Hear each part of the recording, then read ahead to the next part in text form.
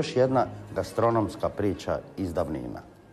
Naime, u njoj je iskuhano svo znanje gastronomije, od gotovo njenih početaka pa kroz razvijene epohe sve do danas.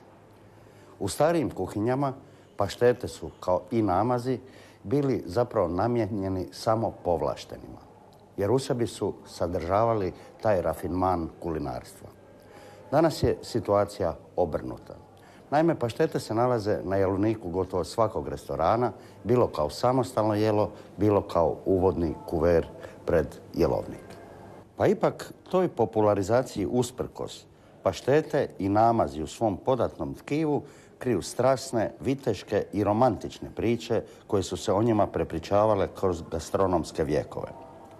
Počevši od onih grčkih namaza od ribe, ikre, morskih ježeva, rimskih apicijevih pašteta od mozga, omiljene hrane careva, preko srednje vjekovnih, renesansnih i baroknih priča i bajki o raznovrsnim paštetama koje su se iznosile na kraljevske i vojvodske stolove. Francuske, Burgundije, Firence Medičejaca ili Milana Viskontijevih. Pa krenimo onda u ovu pustolovinu, gotovo vitešku pustolovinu, tragom nekog davnog srednjevjekovnog lova na nisku divljač, kojim su se podavali aristokrati tadašnje Europe, ali isto tako i siromašni slojevi. Međutim, oni su bili prisiljeni na krivolov, budući da su drakonski zakoni dopuštali takav lov samo povlaštenima. Od tuda zapravo paštete nekako križaju svoje aristokratsko i pučko podrijetlo. Pa ipak jedna je životinja kralj niske divljači. To je divlji zec.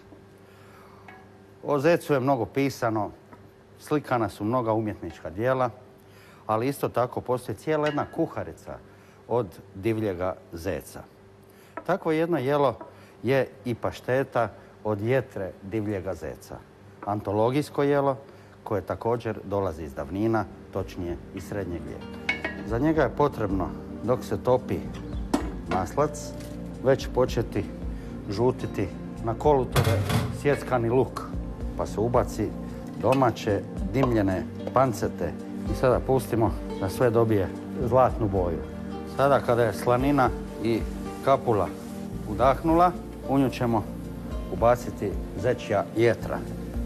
Vrlo skupocjeno jelo, u srednjem vijeku smatrano jednim od najskupocijenijim. Po tradiciji, nakon lova su najviši u plemičkoj hijerarhiji koji su sudjelovali u lovu imali pravo izbora najbolje komada mesa. To su uvijek bila jetra. Unutra se dodaje nekoliko jaja koji će pašteti dati poseban okus i doda se suhih šljiva i suhog grožđa. I doista pri samom kraju nužno je dodati dva sastojka. Prvi je senf, znači posolimo i na kraju dodamo najfiniji konjak. I kako bi ovo jelo doslovce dostojno kraljeva i okrunjenih glava dobilo onaj finalni vrhunski okus u paštetu od zeca. Dodaju se mljeveni bijeli i mljeveni crni tartufi. Da još jedan probamo. I pašteta od zeca je spremna za mljevenje i hlađenje. I sada, kao što smo rekli, slijedi završna faza a to je tještenje zečje jetre i svih dodataka u jednu smjesu koja će tako i postati pašteta. Svojim snažnijim okusom u odnosu na kunića i prepelice ova na stara pašteta od zečevine vraća sjevernijim krajevima i lovu na visoku divljač. A tamo već odjekuje lave špasa, zvuk lovačkog roga kao da se nije ništa promijenio stoljećima od zore. Velika gastronomska i životna pustolovina nastavlja se i ovdje, u Varaždinu, baroknom središtu Hrvatske, ali isto tako poznatom gastronomskom središtu. E pa ovdje, u poznatom restoranu Zlatne ruke, prisustvovat ćemo pripremi jedne iznimne paštete od visoke divljači, kako je priprema mladi majstor Miljenko Borak. Nakon što smo samljali meso divljači, počet ćemo sa povezivanjem paštete. I dodajemo redom začine. Malo soli, papra, muškatnog oraha, svježe sjeckanog češnjaka. Na kraju ćemo dodati razmučena jaja i maslac. Kasnije ćemo sve to skupa fino razraditi mikserom. I pašteta od divljeg vepra je gotova. Dodat ćemo još samo malo suhih grožđica i par kapi konjaka. Evo i sada su paštete spremne za stavljanje u kalup. Kalup ćemo najprije obložiti špekom. Sad ćemo staviti jedan red paštete od jelena. Paštetu treba dobro utisnuti u kalup i red paštete od divljeg vepra. Po vrhu ćemo složiti preostali e, špek kako pašteta se prilikom pečenja ne bi previše isušila.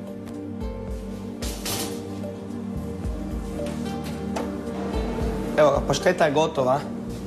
Stavit ćemo je sat vremena da se rashladi i možemo ju rasjecati. Uz velika jela uvijek se vežu i neke nevjerojatne legende. Valjda da bi pospješila njihovu znamenitost i gastronomsku učinkovitost. Tako je i slučaj sa tatarskim biftekom, uz kojeg je vezana priča da su ga navodno u Europu donijeli Tatari koji su sirovo meso stavljali ispod sedla svojih konja i onda ga jeli u predahu odbitaka. Doista nevjerojatna priča. Međutim, ako ćemo slijediti gastronomsku povijest, nam možemo kazati da je tatarski biftek proizvod visoke kuhinje 19. stoljeća i 20. stoljeća i da je nastao u Francuskoj. Otuda se proširio po Europi.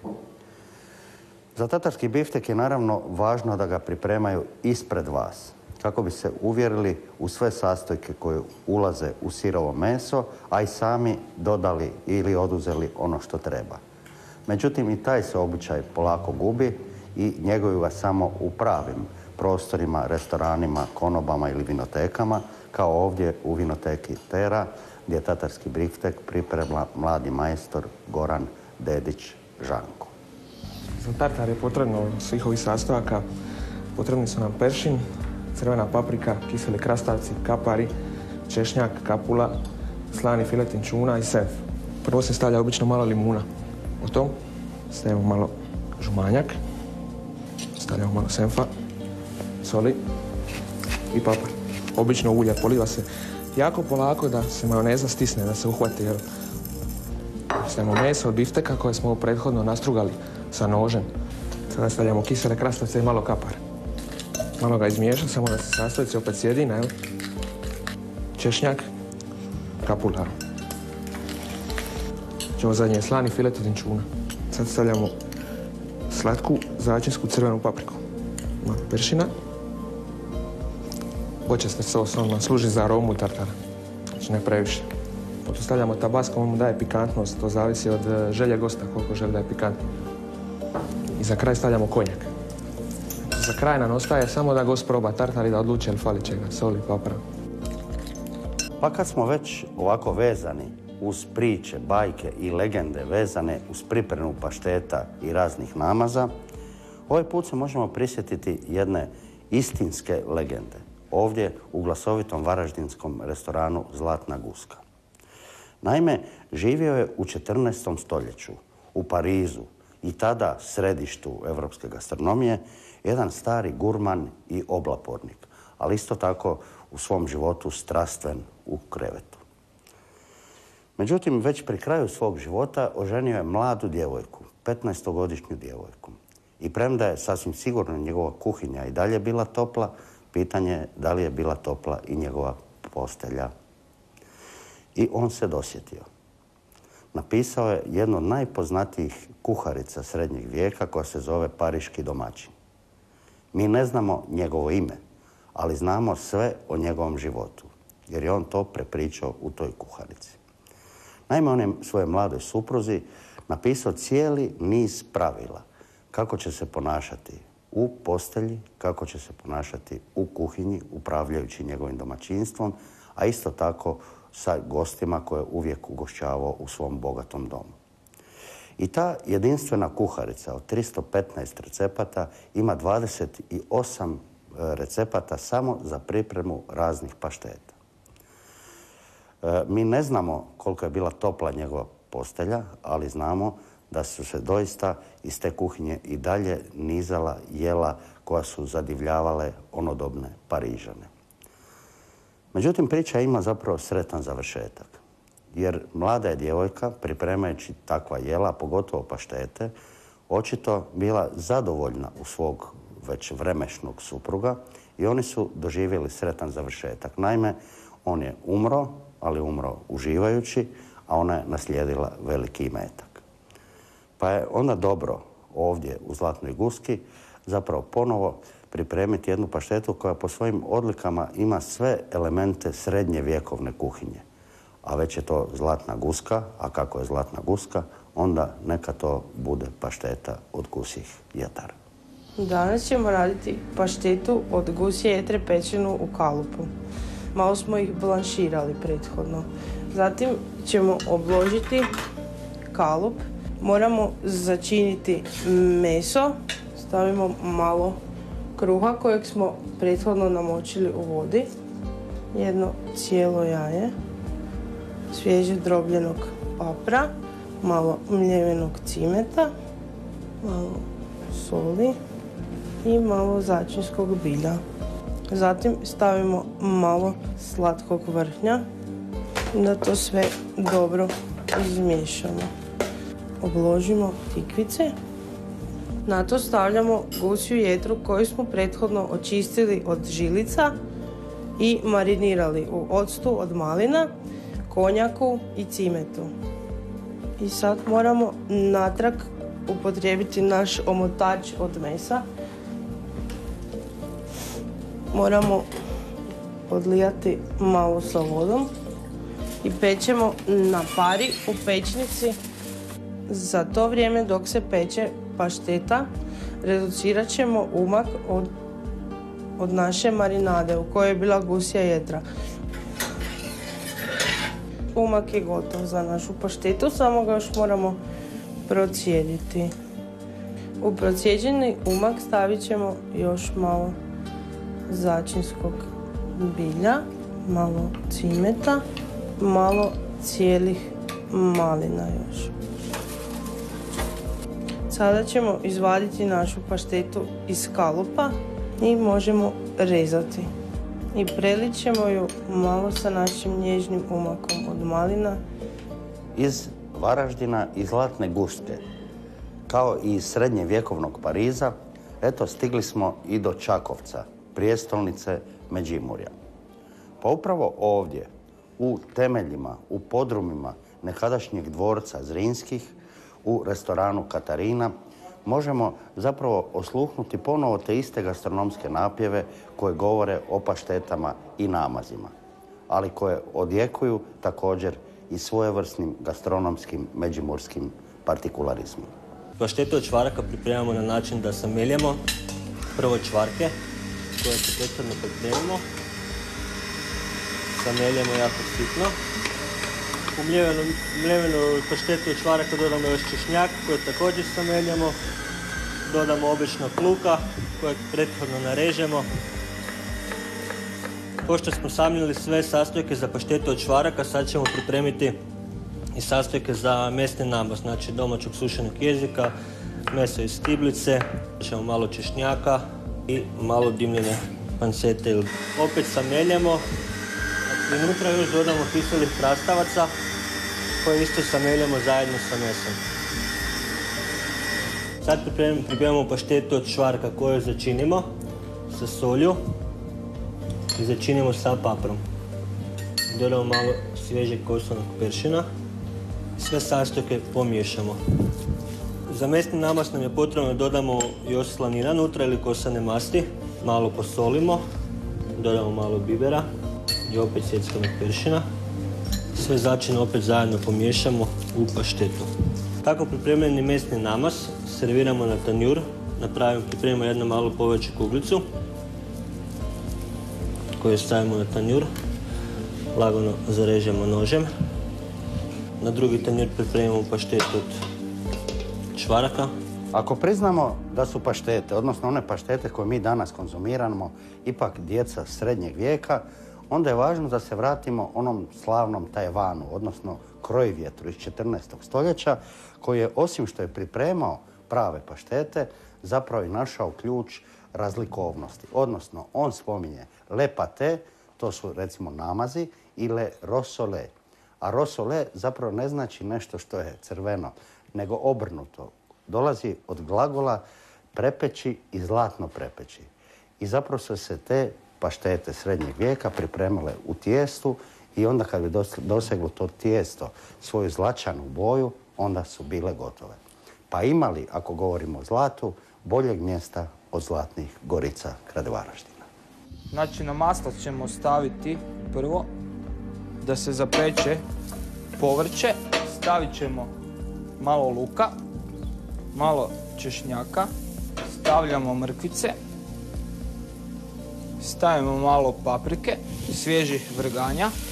Dok se malo ovo prokrčka, stavit ćemo teletinu koju smo marinirali u papru i senfu. Podlijat ćemo sa mesnim temeljcem popapriti, malo posoliti, stavit ćemo malo konjaka. Nakon pola sata dok se meso prokrčkalo, stavit ćemo ga u mašinu da ga malo promiksamo. Stavljamo maslac i završavamo paštetu. Tijesto stavljamo u cimplet kojega smo podlijali sa maslacom. Stavljamo paštetu, na nju stavljamo jetru, pileću koju smo nekad obradili. Malo ćemo ju namazati sa reduciranim vinskim octom. Ostatak presavinuti, staviti malo dekoracije, namazati sa jajem. Nakon 20 minuta pečenja pašteta u tijestu je pečena i vadimo je van. Uz paštete, uz ove paštete u lisnatom tijestu je vezana jedna bajka. Neki kažu da ona počela u njemačkom gradu Württembergu, a neki kažu da je baš počela ovdje u Varaždinu, baroknom gradu bajke.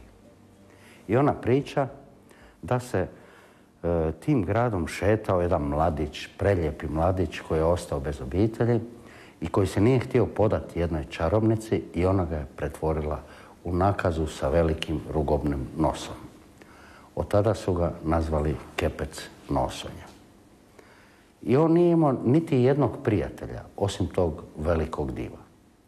Pa se dogodilo, eto, da je prošao Varaždinski ban sa svojom čerkom i ona je izgubila čarobnu ogrlicu. E, niko je nije mogao naći. I div je prišapnuo kepecu nosonje. Neka ode u jedan mali ugao jednog vinskog podruma i pokazao me gdje je ta ogrlica. On je naravno pronašao, vratio je Banu i njegove kćeri i oni su rekli koja je tvoja želja? Moja želja, moj bane varaždinski, da postanem kuhar. I to kuhar u vašim kuhinjama. I on je postao pravi kuhar. A onda mu je div prišapnuo. Napravi paštetu sizerenu u lisnatom tijestu. Otkrio je da u tu paštetu mora dodati e, pučki e, dodatak, a to su bile grahorice i zrnevlje. I kad je e, princeza probala tu paštetu, ona se istog trenutka zaljubila u rogobu. Poljubila ga je kao u mnogim bajkama u njegov veliki nos i on se pretvorio u prekrasnog mladića i e, kralj ili ban nije imao izbora i oni su se oženili. Nakon toga on je i dalje kuhao, ona je možda ponekad u strasnim noćima patila možda i za njegovim velikim nosom, ali je, eto tako, e, na neki način tu i završila priča o našim strasnim i, bajkovitim pričama o paštetama i namazima.